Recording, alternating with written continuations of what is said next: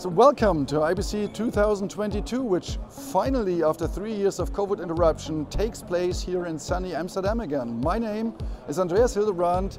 I'm a Ravenna evangelist working for ALC NetworX out of Munich, and we are really happy to be back here in sunny Amsterdam, seeing so many uh, familiar faces also being back, and everyone has a smile uh, in his face and there are huge hugs and everyone is really happy to be back in business. Talking about business, Ravenna, of course, has continued business over the past three years.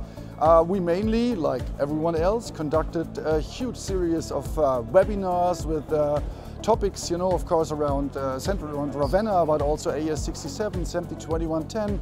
Uh, we had topics which uh, focused on inside tech stuff, like how is the audio actually transported, processed, and so on. And um, you can see all those uh, videos on the Ravenna website or on our YouTube channel. We of course also continued working with the standardization organizations like AES, so we published uh, a uh, new document about how to transport AES67 over WAN. We worked with uh, SMPTE on improvements on the SMPTE ST2110 uh, suite of standards. Um, we contributed some work to VSF uh, on IPMX, the new IP Media Experience um, um, protocol or standard, however you want to call it.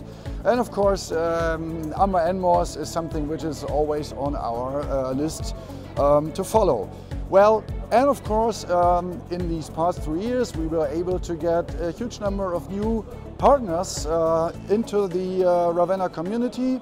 Um, uh, talking just a bit about the new partners which joined since IBC 2019. So, we got RME from Germany, then we had uh, also just recently joining Glensound from UK. Um, then, in no particular order, we had uh, Micromedia from Switzerland, uh, Weigel Control from Austria.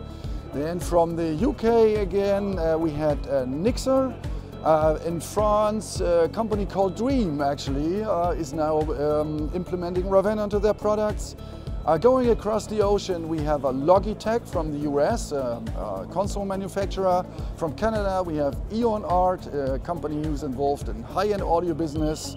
Uh, even from China, uh, another company joined us, LA8.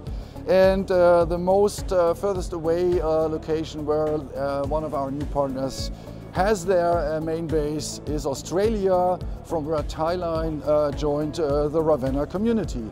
And um, it's a very special pleasure to also mention another German company, Holoplot, who is out, uh, working out of Berlin.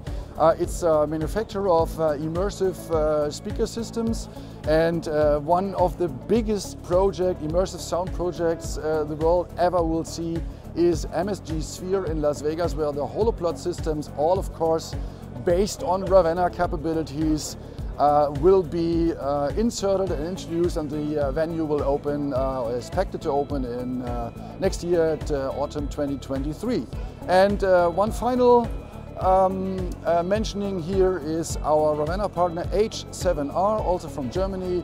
They are about, they are here with us at the Ravenna booth and they are introducing their new virtual sound card, Streamer Plus Plus, and folks are actually getting crazy about this new alternative for a virtual sound card. So that's uh, about it, what has uh, been uh, done in the past uh, three years. And uh, as I said, stay tuned for the next video where I will talk a bit about the new products which have uh, seen the light um, and, in the past three years. And um, thank you for watching so far.